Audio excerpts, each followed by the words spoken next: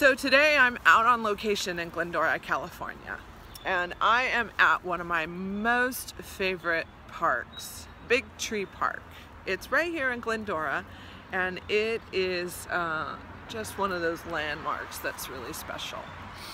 So you may not know this. Uh, I first started out in Glendora, California. When my parents were married, that's where we first started out. Then I made my way over to El Monte when my family went through a divorce. And um, I used to come back to Glendora every weekend with my father and we would come visit this park all the time. And that's because we would come visit my grandfather all the time. My dad and my grandfather were like inseparable. And we would always be here and we would come visit this park and I used to love climbing on that tree. Check it out. Look at the roots on that tree. They are absolutely massive. And that's what we're to talk a little bit about today. We're to talk about um, your roots and your family. So our scripture for today is, But if you refuse to serve the Lord, then choose today whom you will serve. Would you prefer the gods your ancestors served beyond the Euphrates? Or will it be the gods of the Amorites in whose land you now live? But as for me and my family, we will serve the Lord. Joshua 24:15, New Living Translation. We will serve the Lord, me and my family, my family and I. Whatever you want to say it, however you want to say it, we're going to serve the Lord. I've raised my kids in the church. I've let my children know who they are. I pray that they stay there. I pray every day that they have that faith, the faith that I have, that our God is bigger and better than any evil thing out there. That's what I pray. That's what I've taught them.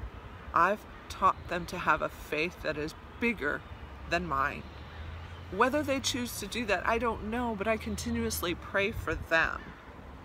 And I do know this that that faith didn't come from others that I may or may have been surrounded with. That faith came from a God who gave me a little, little place. He said to me, Lori, do you know who I am? And I didn't know who he was. I didn't know where he was. I didn't know what he was. And he used this little baby who said, Mommy, who's God? And that's where it started. And I pray every day that my family will serve our great God.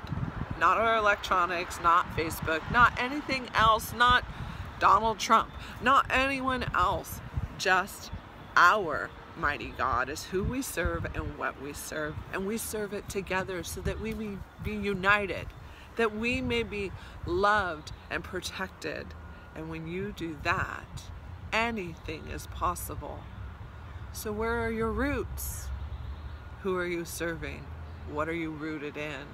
Because when you have roots like this right here, when you have roots like that, nothing, not one thing can overcome you.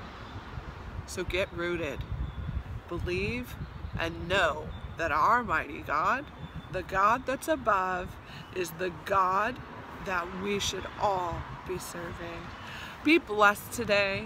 And if you want to know more about why I feel the way I do, call me, text me, email me. Ask below in Facebook where it's posted. Ask in my YouTube site. Whatever works for you. I'm here and I love our mighty God.